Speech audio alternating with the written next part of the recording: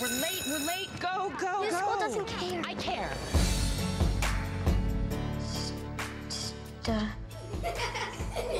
Try it again. I can't. Cody, you can do it. Come on. I don't get it, Mom. I can't wait. With 10,000 studies about how being poor affects education, I can tell you being poor sucks and my kid can't read. So, Miss Activist, Jamie was the perfect role for you. Um, God, I mean, she's way more of a hero than me. And at the same time, I don't think she thinks of herself as an activist. Certainly not in the beginning of the movie, right? I mean, I don't think she thinks of herself as political or intellectual or an activist at all. And then she ends up getting activated by her heart. We need to fix Adams and we need to do it yesterday. Right?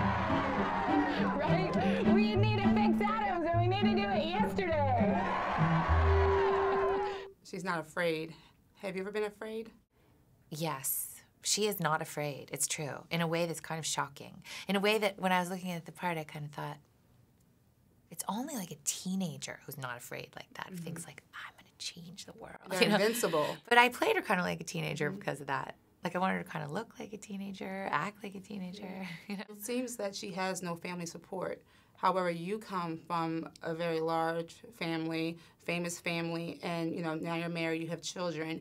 Um, what kind of influence has that had on your child rearing versus Jamie? Yeah, I mean, first of all, she's a single mom, which, to be honest, I find difficult to even imagine. I have a good friend who's a single mom with a daughter about the same age as, as my daughter, my older daughter.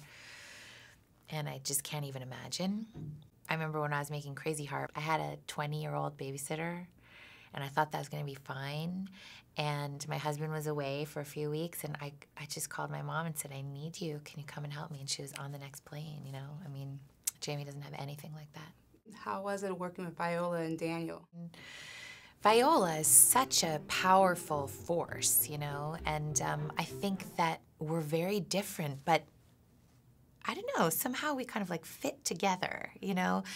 Very, I would throw things at her and she would send them back to me, not at all how I anticipated, which is like kind of always what you want. So I was always awake when I was acting with her. And Daniel? And Daniel's great. He's really smart and I think really likes actors, wants actors to soar in his movie. And I think that, that this issue is very important to him. Yeah, it definitely is for all of us. Yeah. Have you heard about those mothers that lift one ton trucks off their babies? They're nothing compared to me.